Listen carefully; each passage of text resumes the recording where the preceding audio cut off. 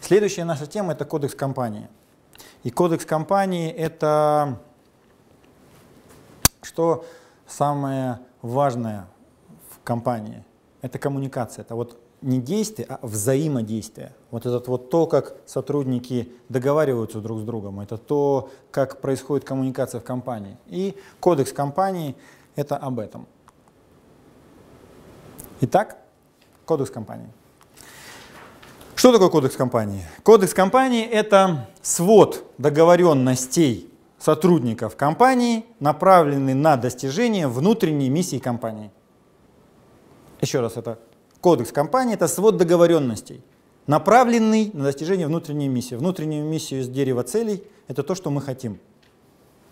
И в нашей компании я с гордостью вам представляю наш кодекс компании. Это 180 регламентирующих документов, которые мы писали с 2006 года по 2011 год. И э, я сейчас его дам посмотреть. Это каждый из этих документов с моей личной подписью. Вот видите, в, одном, в одной папочке. И это то, как мы создавали свой кодекс компании. Но можно посмотреть.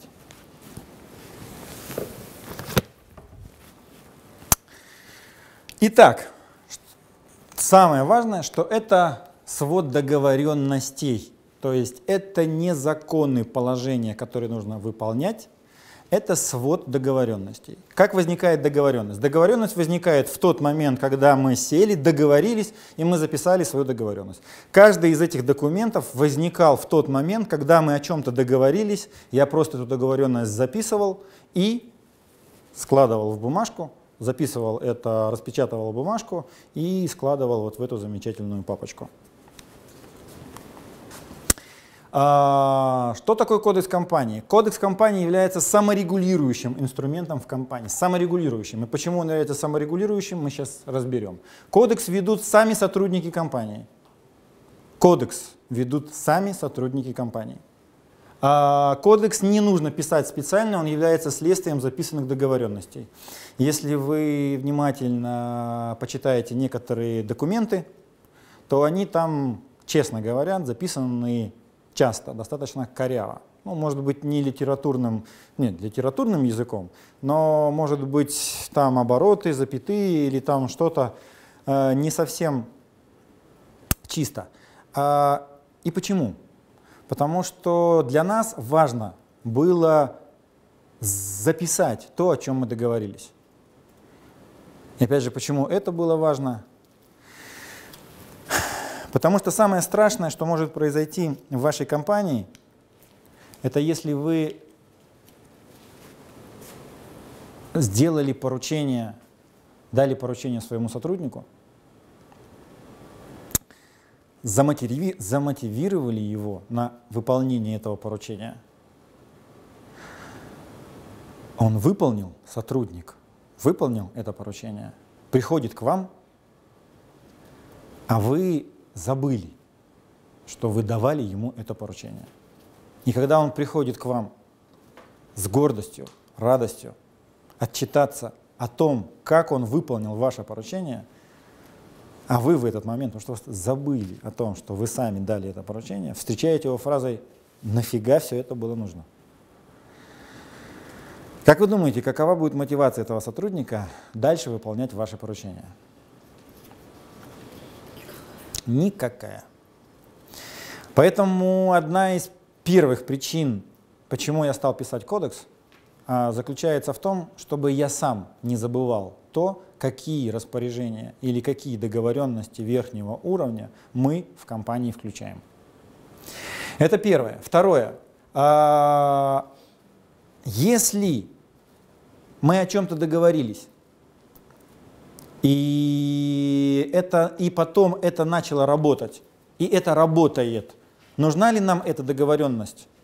Обращаемся ли мы к ней? Ну нет.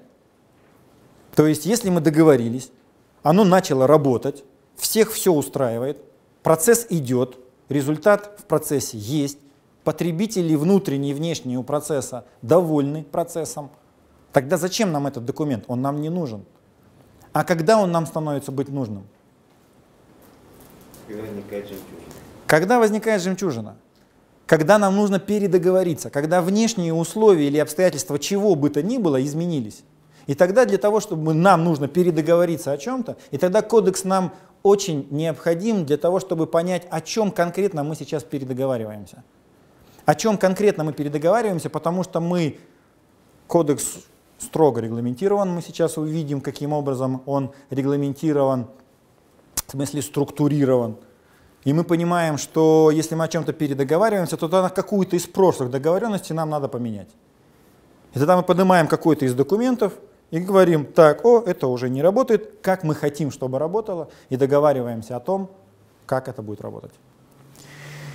А, еще один а, хочу вам сказать а, интересные следствия, когда кодекс есть.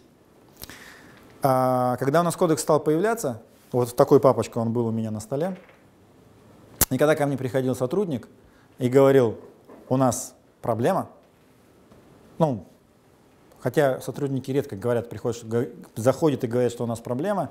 Обычно это эмоция. Я спрашивал, проблема? Он говорит, да. Я брал кодекс, клал перед ним его на стол и спрашивал, где проблема? Покажи. В каком месте сейчас проблема? И фактически, что я делал? Я предлагал ему просто показать, где проблема. Человек начинал искать то место функционирования в нашей компании, где он мне хочет показать, что есть проблема. И что происходило? Он уже начинал искать решение. Автоматически он начинал искать решение. Потому что когда он находил этот документ и говорил мне, вот здесь не работает, плохо, я спрашивал его, хорошо, а как ты хочешь, чтобы работало? Как ты хочешь, чтобы было? Он говорил, надо вот так, вот так и вот так. Я говорил, погоди, погоди, погоди, я записываю. И я записывал с его слов изменение процесса так, как он предлагал его изменить. И это становилось новым стандартом в документе, нашей новой договоренностью. Почему?